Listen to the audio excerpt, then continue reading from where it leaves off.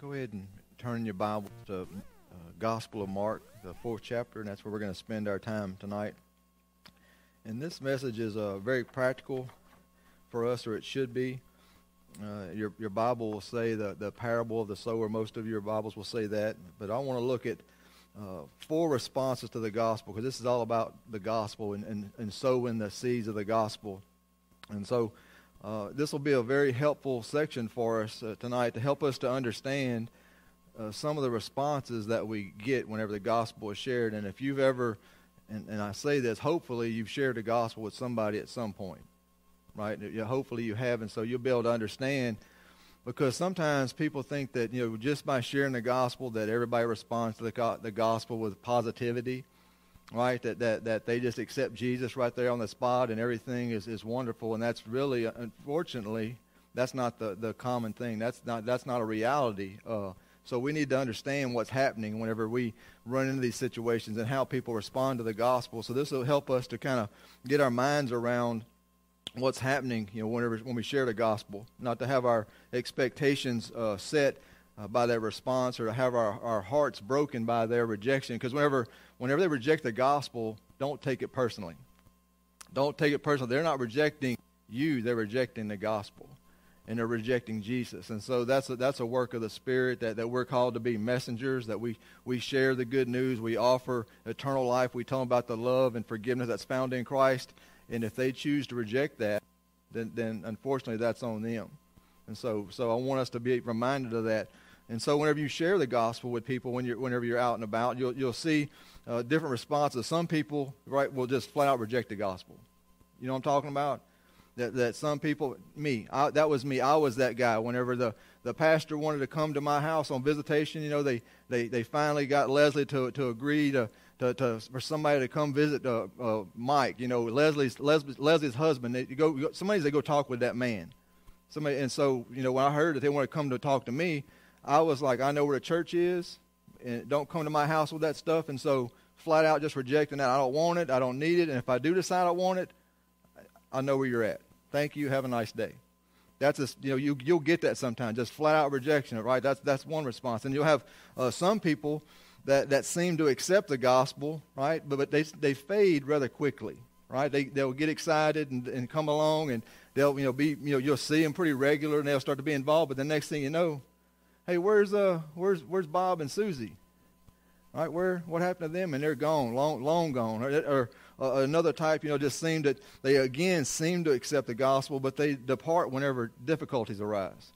Right? When something, something doesn't, or something happens in their life that's hard, or, or somebody gets cancer or somebody dies or somebody loses a job and all of a sudden you know their, their view of god well he's let them down and i'm done right he didn't he didn't fulfill what i thought he would fulfill and so they, they tend to bail out as well but then there are those those those rare instances whenever you share the gospel with somebody and they do accept Christ and, and, you and you're able to walk with them and you see them grow step by step as they are being discipled right? They, they begin to serve and reach out, and they're uh, involved in the church, and, and they're, they're going and sending, and they're actually uh, getting to the point where they're sharing the gospel with other people, and they're going and walking along somebody and disciple somebody else and reproducing disciples, right? So you have all these things, and we're going to see them in our text tonight. Hopefully, we're not going to see anything that's, that's new. It's just only going to uh, affirm what you already know through your own experience. We have to continually remind ourselves that conversion of hearts is God's work. Right? It's God's work. That, that He's the one who's going to change hearts, not us. Right? If it's if we could just convince somebody with our with our knowledge, right? If, if that were possible, that'd be one thing, but it's not possible. I've never been able to argue somebody into salvation. Anybody? You know, uh, uh, just, just through being logical and, and just showing them the verses in the text and, and, you know, my, my information is better than your information and somebody, you're right, you win you know, you win, I'm going to be a Christian. I haven't, I've yet to run into that person. And so uh, we need to know and remind ourselves that conversion is, is God's work. It's a, it's a heart conversion work. Uh, our, our work and our part in this process is to, to encourage uh, others to place their faith in Jesus, to, to share the gospel, right, to be witnesses. That's, that's what we do. And, and walk out the gospel for them, serve on them, serve them, uh, love them, right, to, to minister to them in the midst of these things. Because the, truth is we have no clue we have no clue who's going to respond to the gospel and who's not. We don't know who's going to be a yes and who's going to be a no. All we're told to is to share the gospel, right? We, we cast seed. We cast seed, and the rest of us between them and God. But I can tell you this if we do not share the gospel, then we'll get no response. We'll get no response. If we do not share the gospel, we will get no response. So you can count on that one as well. So, t- tonight's passage, uh, we're going to see uh, that uh, uh Jesus is going to affirm uh, these these ideas. He's going to he's to talk about uh, you know the the reality that that few will actually accept the gospel. Right? And so so sometimes we're like we, we look at the Crusades and we think of Billy Graham and we see stadiums full of people, and at the end, as just as I am begins to play, you see the, the stadium just empty out, like everybody everybody funnels down into that bottom where, where the altar area is, and just you know hundreds of people come to know Christ like that. And that's what we think of. And so when we go week after week and week after year, month after month, or whatnot, and we have none of that, right? We, we start to say, what's happening? You know, what's going on? Why, why, is, why don't we see that here? Why is it, right? Is it just me? You know, we start to think that way what's happening here, but we have to remind ourselves to stay faithful to the gospel. In Matthew 7, 13 and 14, Jesus talked about this, this idea of few finding their way to Christ. He says, Enter by the narrow gate, for wide is the gate and broad is the way that leads to destruction, and there are many who go in by it, because narrow is the gate and difficult is the way which leads to life, and there are few who find it that doesn't that push against what we we expect? Don't we, we? We've had this mindset when we think about you know the, again those large conversion experiences, seeing these large numbers, or you know if you get the uh, the Baptist newsletter, it, it, they don't they don't tend to put in a newsletter when one person accepts Christ at Occupy two. That don't make the papers. But when they have, you know, like an evangelism conference or, or, or a revival service and, you know, 200 or 300 make professions, that makes the papers. But see, that's, that's the exception. That's not the rule. That, that the, the work of salvation is a slow work. It's a, it's a, it's a it, you know, it's a one soul at a time, one person at a time. And so the, the text here, Jesus is saying that there are few. There are few that find it. You know, many will reject the gospel. They take the broad gate, and, and few will accept the gospel, and they'll take the narrow gate. So this parable is going to going to help us. It's going to equip us to be ready for these types of responses as we share the gospel. So let me pray for us as we before we look at our text. God, we thank you for this word. We thank you for the encouragement of your spirit in our lives, God. We thank you for this passage, Lord, because I know uh, for myself that, that I can struggle with this at times, Father, whenever uh, we go long periods of time and it seems as though uh, nobody is hearing the gospel, that nobody is responding to the gospel. We see no one uh, coming to faith in the gospel. It just seems like just what am I doing wrong? What are we doing wrong, Father? I read a text like this, Father, and it comforts my soul. It comforts my soul, Father, that, that it reaffirms that if we are a faithful people, if, if, if I'm being a faithful pastor, if we're being a faithful church to share the gospel with people, Father, the rest of it is up to between you and that individual. So, God, thank you for allowing us to be part of your work, to be used by you to, to, to get the gospel to this community and get the gospel to this nation to the, get, get the gospel to this world, Father. So help us to, to look at this text and learn from this text. Equip us to be better disciples. And we ask these things in Jesus' name. Amen. All right, so let's take a look at our text. Mark chapter 4, verses 1 through 9. It says, And again he began to teach by the sea, and a great, number, a great multitude was gathered to him, so that he got into a boat and sat in it on the sea. And the whole multitude was on the land facing the sea.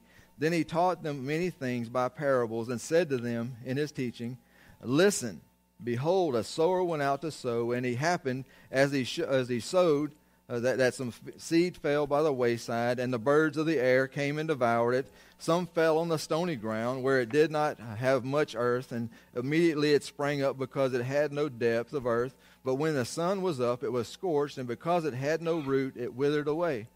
And some seed fell among thorns, and the thorns grew up and, and choked it, and it yielded no crop. But other seed fell on good ground and yielded a crop that sprang up, increased and produced, some thirtyfold, some sixtyfold, and some a hundredfold. And he said to them, He who has ears to hear, let them hear. All right, so we have again another one of these fantastic Uh, uh, uh, um, sections of Scripture where, where Jesus is, is doing a teaching and, and teaching a multitude, a large group. Just imagine that. You know, just imagine uh, they're, they're having Sunday night church, you know, a Sunday night service, and they have so many people show up that they're, they're pressing in on Jesus. There's so many people there that they're starting to push him into the water, and he finally just says, oh, you know, hold up, hold up. He gets in a boat and launches out from the crowd because there's so many people there. So he, he pulls away onto the water where he'll be able to get some perspective on the crowds and be able to speak, and they all can hear. And so he, he begins to teach them, and these, these large groups are gathered to hear what he has to say. And so uh, he spoke to them, it says here, in, in the form of a parable.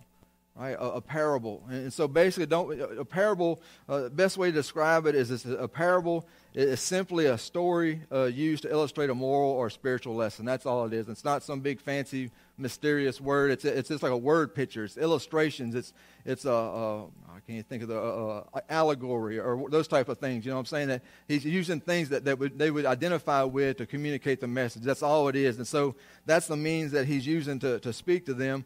And in, in this parable, there's three key elements that he'll use. He'll use the, the sower right? The sower is one of the main elements, right? That the, the sower would be the individual that's sharing the gospel. And then you have the seed itself, which is the gospel message. And then, of course, the, the third element is the soil. And, and the, the soil represents the hearts of the recipients of the gospel. And so that's, that's what we see in this passage tonight. And uh, Jesus, he was using a, a, a, a, parable that they would understand. He would use an agricultural parable because the, the people of, of, that area were, were, you know, they're mostly farmers. And so they would readily understand everything that he was saying. He would not use this same parable to go into the city. You, you understand what I'm saying? Where the, the, marketplace, where, where you know it'd be foreign to them, they wouldn't understand what he means by sowing seeds and uh, the wayside and stony ground and thorny bushes. The, the, the city folk wouldn't understand what he's talking about, and so that's exactly why he uses this parable to be able to, to, to relate to these people in this way. They all knew about farming and what it took to grow a crop. They, they all understood the, the, the problems that arise when you're, you're trying to work the ground, the, the, the, you know, the, the weather and the nutrients in the ground and the, the moisture content and all these things. Because, you know, uh, I'm not a farmer. I don't even pretend to be a farmer. And, and this last year, uh, Leslie uh, tried to, you know, we, we had a little bit of farming going on, got some, some planter boxes out there in the back, and we were able to grow a few things. And hopefully this next year we learn some mistakes from last year and do a little better. Uh, but it's not as simple as just throwing seeds out on the ground and hoping that they produce, is it? There's a lot more work that goes into it than that. You know, a lot of preparation has to go into it. What type of dirt you have. Some things just won't grow in certain types of dirt, right? Period. It don't matter what you do. You can till it up all you want and fertilize it all you want and jam a seed in it and water it and water it and water it. And guess what? Nothing. Nothing's going to happen. So that, I think that th- this illustration, this parable that he used, really related with these people. They, they, they understood what he was saying. So let's look at the first, the first response that we see in this text, the, the wayside response, verses 3 and 4. He says, Listen, behold, a sower went out to sow, and it happened as he sowed that some seed fell by the wayside, and the birds of the air came and devoured it. And so, what Jesus is saying here, the imagery that he is trying to, to show is, is that, that of seed falling on hard packed ground uh, like a walking path between the fields or even a roadway, right? That, that it's just nothing there, that these little pathways between the fields that the, you know, don't, you, you don't be walking through your fields, right? Once you're trying to grow things and they're starting to grow, just trample them under your feet, that's not smart. So there's these little narrow paths that you walk in between in the fields and it'd be really packed in from all the traffic or there's you know paths or, or, roadways. And so when you're out there casting seed, you're just casting it everywhere. Some, and some of it gets on these hard walkways and these pathways, and the birds are just waiting. Right, they're just waiting there, and so what, what happens is, is these seeds hit hit the ground there, and before they can go anywhere, they're not going into the ground. They're just laying there exposed, and it just became it just becomes bird food. Right, it's it's quickly it's snatched up quickly, and it's up and it's gone. And so what Jesus is saying that uh, these are those individuals that, that will listen to you share the gospel and maybe even thank you for sharing it, right? You know, not everybody's going to be rude and, and, belligerent like I was, right? Some people will sit there and listen and, and thank you, and, and, they'll even make comments like, you know, let me think about it. You know, I appreciate you sharing this, but let, let me have some time to think about it. Or, you know, but, but while they're, they're thinking about it, you know, nothing happens, right? No, nothing happens. You know, that, they're totally unmoved by the gospel. And Jesus explains uh, uh, uh, down in, in verse 15 what happens here. And this is what's unique about this parable it, Jesus explains it. Most of the time when he gives a parable, he doesn't. So, so as, so as you study the Bible, and for me as a pastor, I love these sections of Scripture because I don't have to sit there and try to figure out what Jesus is saying. Jesus tells us exactly what he's talking about. And so this, this passage is a great blessing for all of us tonight. Look at verse 15. He said, And these are the ones by the wayside where the word is sown, and when they hear, Satan comes immediately and takes away the word that was sown in their hearts. So how exactly does that happen? right? When we think about that, when we try to think about the, the idea of the word gets planted and, quickly it gets snatched away, well, you know, Satan will use people to, to, to tell the lost that they're, they're good people, right? You know, somebody comes and wants to share the gospel with you, a loved one or, or, or your child, and you know, sometimes they, they're really searching and saying you know, you know, you know, Brother Mike said this in a sermon today, you know, and it sounded to me like he, that I'm a sinner and, and I need to get saved. And then what happens? mom or daddy will say, "No, baby. No, baby. You're you're good. You're a good person. You don't. That's not you. He wasn't talking to you. You're you're good, right? Y'all see what I'm saying? Y'all know what I'm talking about? That's not you. He's talking about them other people, right? So, so inadvertently, sometimes you know we're the ones that do the work of Satan, and, and we remove that. We we ta- we rob that blessing, and we take that away. We snatch it away.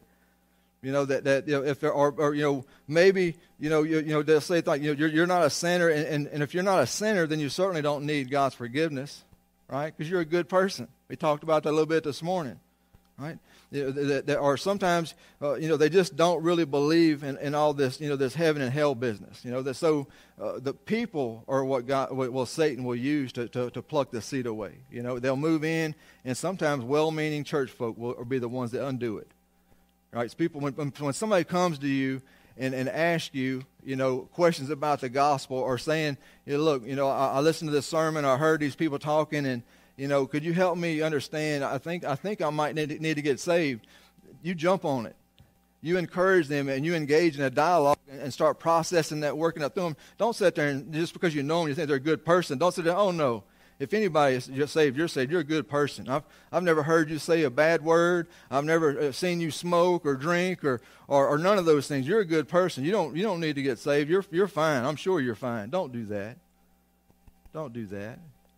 God is working in that heart, and He's allowed you to be the one to be able to, to, to reap that harvest. And so be careful of, of those things.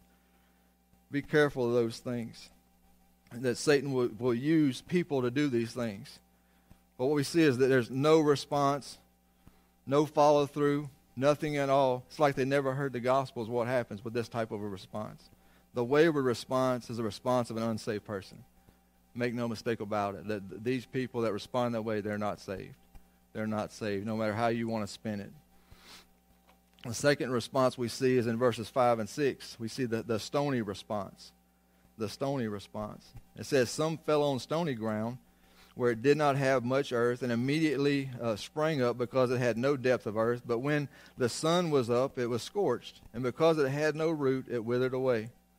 And so, what Jesus is doing here is, the imagery that he's using uh, is, is, that seed that was sown into ground that had shallow, uh, shallow layer of topsoil over a layer of rocks or, or limestone. And so, what happened is there's no means for the plant to develop any roots to sustain it right? It might spring up quickly. It looks like it's going to be healthy and productive, but it doesn't last very long.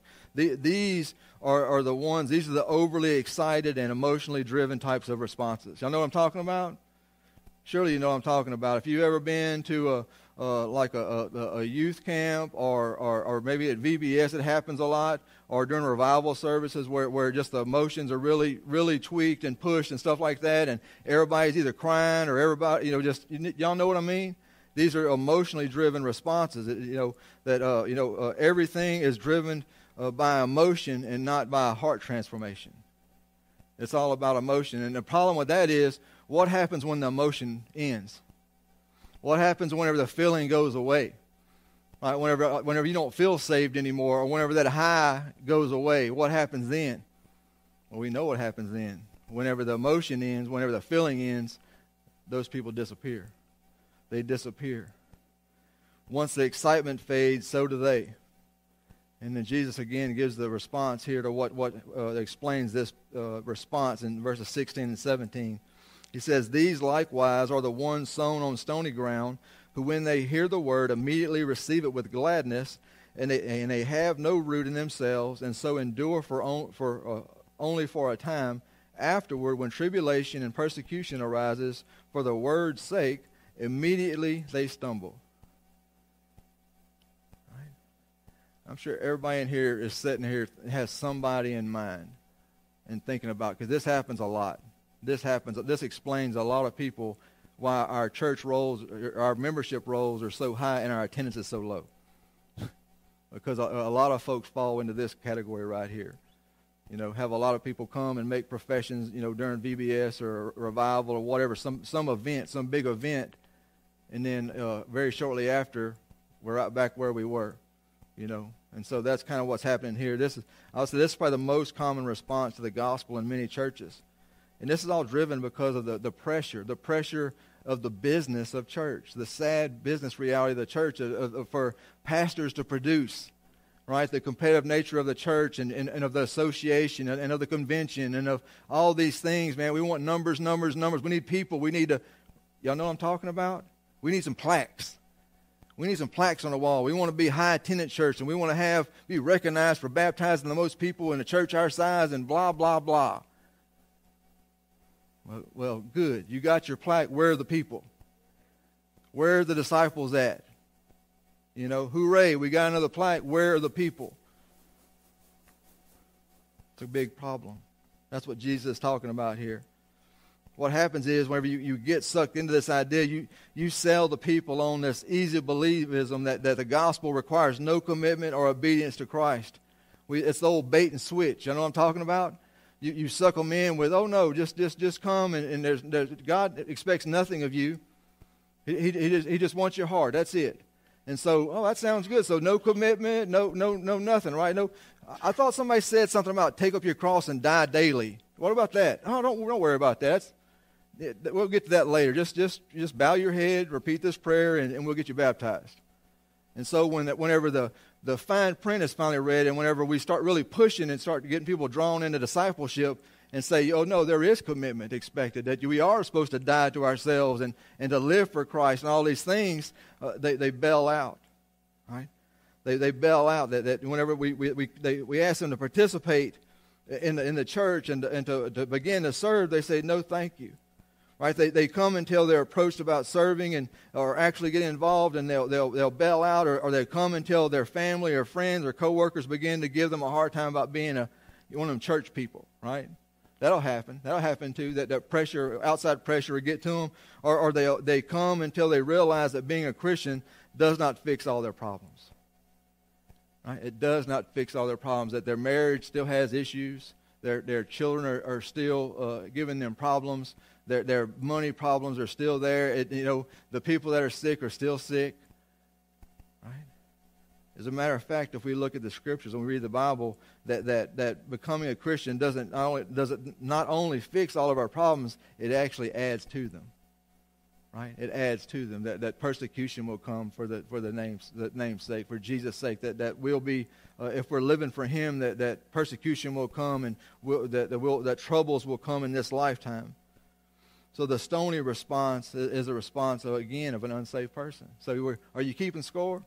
We're, we're, two in, and two responses are, are, are, of unsafe people. So we're two for two so far. Strike one, strike two is where we're at if you're keeping count. Right? Let's look at the third one. And the third response, the thorny response, verse 7. It says, And some seed fell among thorns, and the thorns grew up and choked it, and yielded no crop.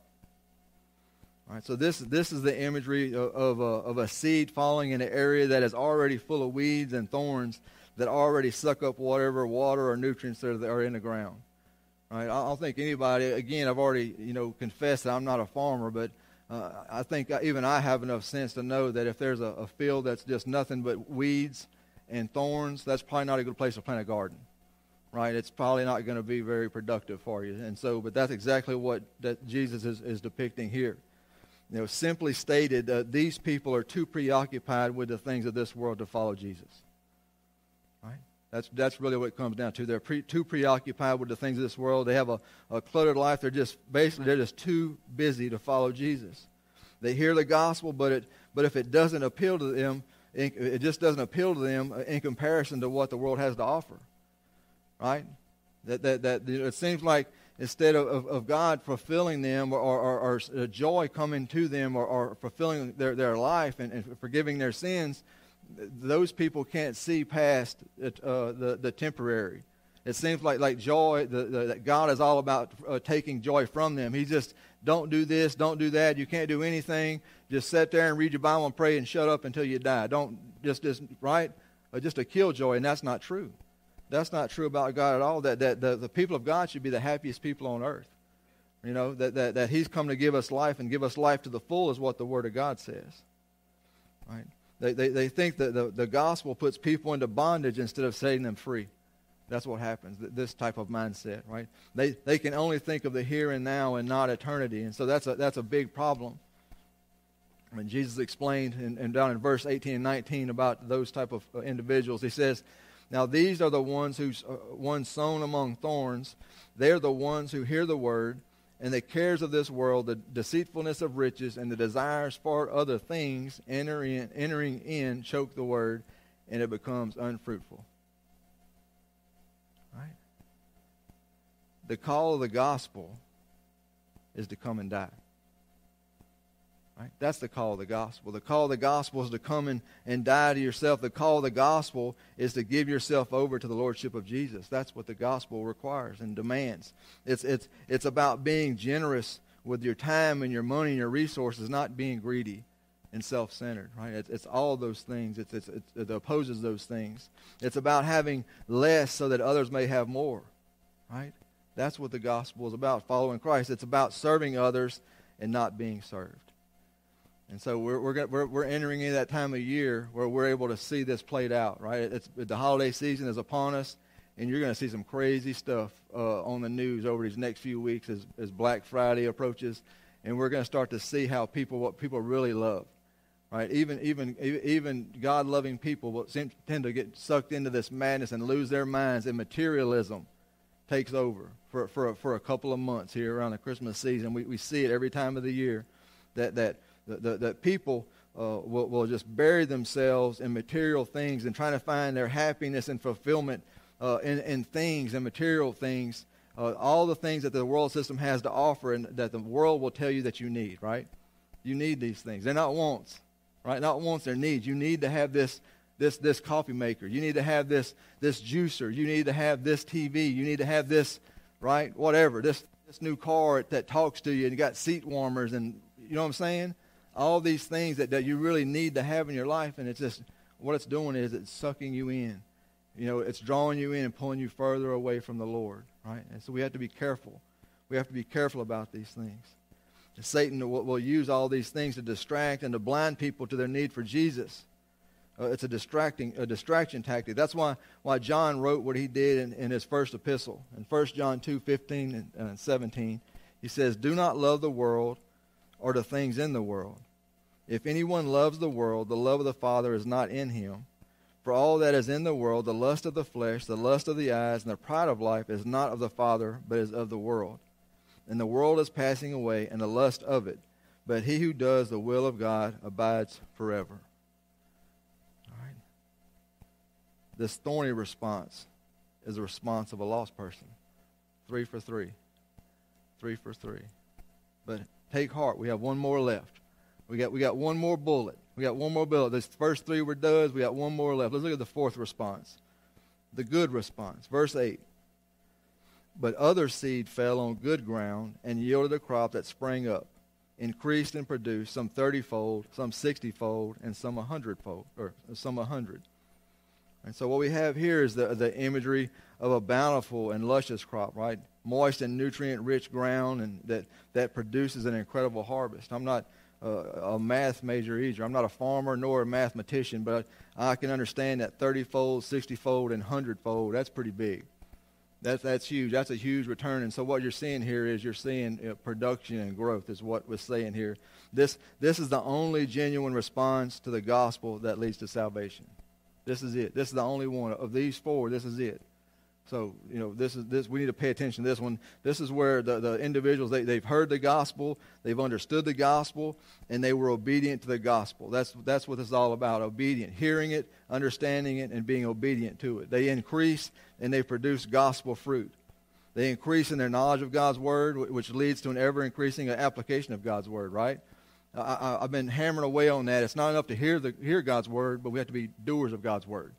That, that's, how, that's the checks and balances. It's not, James said, to be doers of the word, not hearers of the words only. What's it say after that? Deceiving yourself. Right? Deceiving yourself. He's talking about that, that, that if we hear God's word, right? And we know God's word, but we don't do God's word. We might be deceiving ourselves because it's all in what you do. It's, it's how you respond to God's word. It's not, it's not enough to say, I know God's word says I'm supposed to love people, but I don't want to love people. I know God's word says I'm supposed to be generous, but I don't want to be generous to people. I know God's word says I'm supposed to forgive people, but I don't want to forgive people.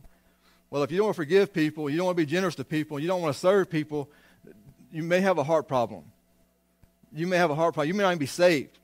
That's, that's what the Word of God is saying. So he says to be careful here. This, this maturing process, this discipleship process, uh, is, is, an ever increasing uh, uh, uh amount of gospel fruitfulness. It's, it's a growth in Christ. These people deny themselves and take up their cross daily. They, they become smaller, and Jesus becomes bigger in their lives. Does that make sense? right? That, that, that, that you know, that, that we become less important. You know, uh, our, our goals, well, we really don't have goals anymore. Jesus has goals. Uh, our priorities, we really don't have priorities anymore. Jesus has a priority. And so we align ourselves. The, the, the good ground, the, the true disciple of Christ realigns their lives with the life of Jesus. Right? What Jesus says we do, that's what we do. What Jesus says our priority, that's our priority. What Jesus' plan is, that's our plan. That's what we're saying here. That's what this, this gospel, this good ground is all about. And that's what Jesus said in, in verse 20. He explains it. He says, But these are the ones sown on good ground, those who heard the word, accept it, and bear fruit, some 30 fold, some 60, and some 100.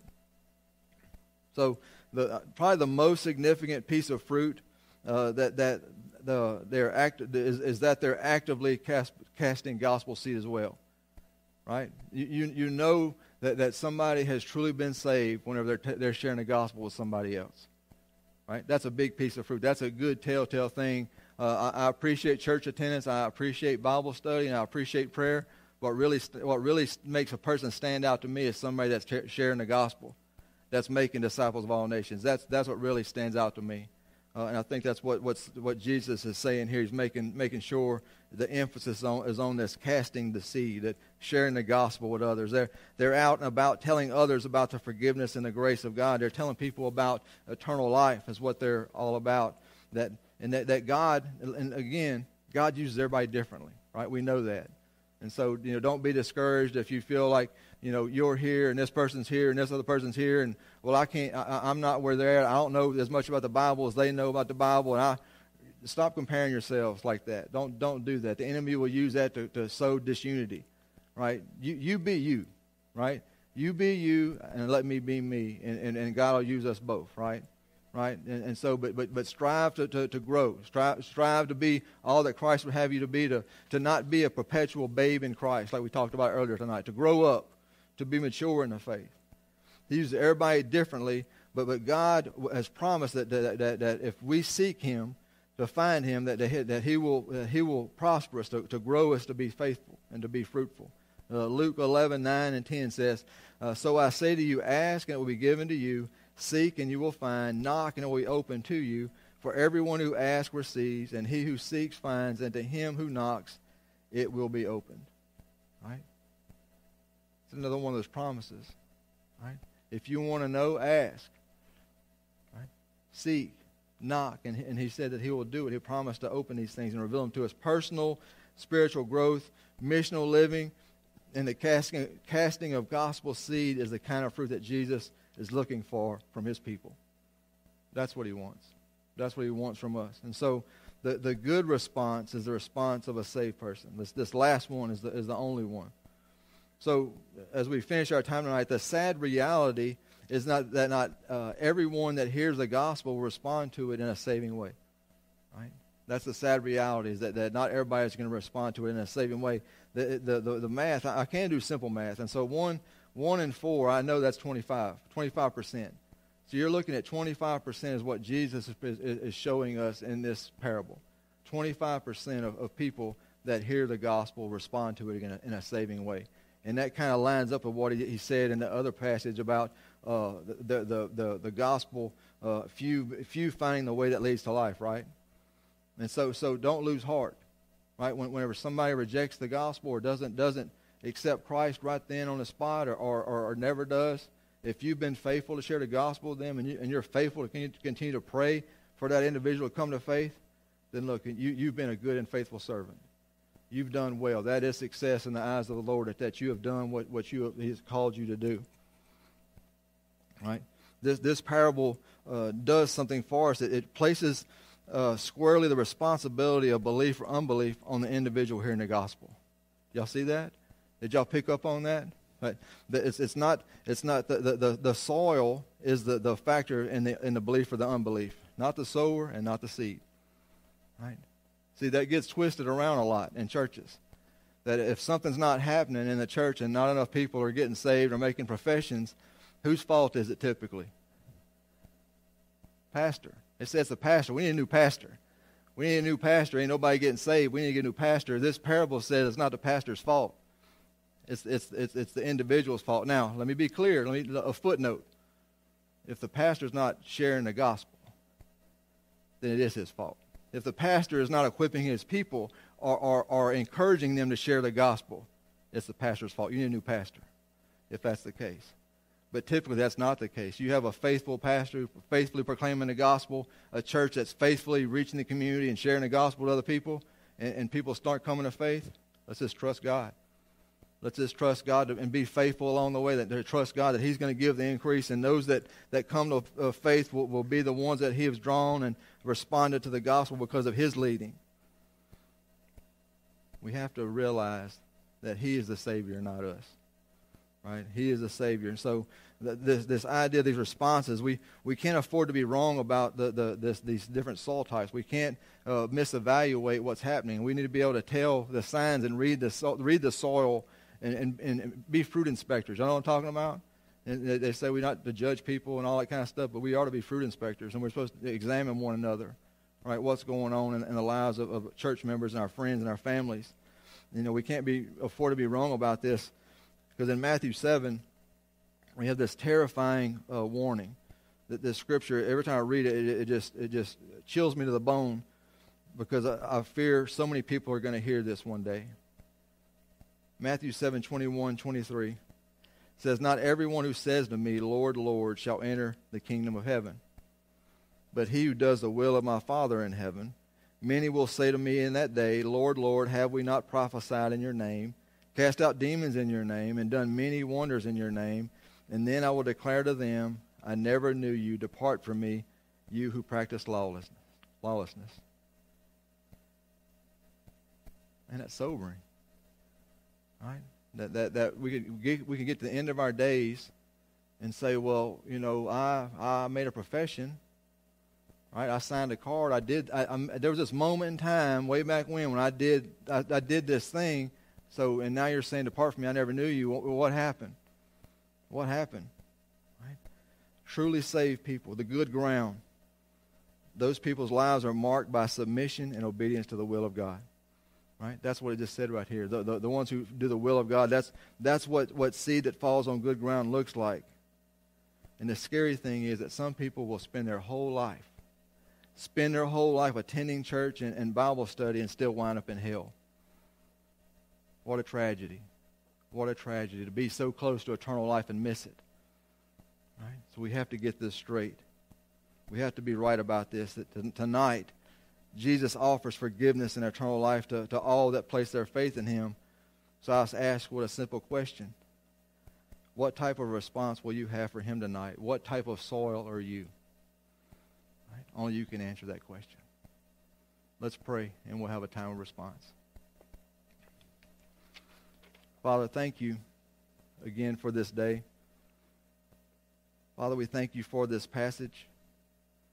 Lord, a very sobering passage a shocking passage, God, where we live in a day and an age where uh, these these mass uh, uh, uh professions of faith, these these large uh, uh, crowds of people making professions and, and, and just crowds of people getting baptized. God, we, we don't know. And, and Lord, I, I, I, I don't want to be cynical about these things. Father, I pray that every person that, that, that, that makes a profession, every person that is, that is baptized in these, in these services, God, that are truly saved, I, I do. I honestly do. I, I would love nothing more for that to be the case. But God, I also know just from my own personal experience that, that's, that so many people will make responses to the gospel and, and it just doesn't take hold. So, Father, I, I, I, don't believe that, that the Bible teaches that we lose salvation. I believe that the, the Bible teaches us that we can make a false profession of faith. So, Lord, I would ask tonight for everyone in this room, God, and those that will listen to the, the podcast later, that they would search their hearts, Father, right now, that you would reveal to them the reality of their salvation, that you would re- reveal to them either their, you would confirm that their salvation is genuine and true, or you would prick their heart and reveal that they're lost that they're lost, God, that, that, that they've been living a lie, that they've been playing a game, that they've been pretending to be a follower of Christ. So, Father, I pray tonight all these things would come to an end, that you would reveal the truth of the situation no matter what it is, and help each one of us to have the courage to respond in the way that you'd have us to do it. We ask these things in Jesus' name. Amen.